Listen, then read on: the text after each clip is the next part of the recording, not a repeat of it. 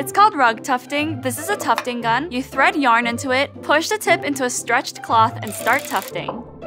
There are scissors that push the yarn into the cloth and cut them into place. And once you're done, glue it up so it never falls apart, cut it off the frame, finish it up, and you have rugs.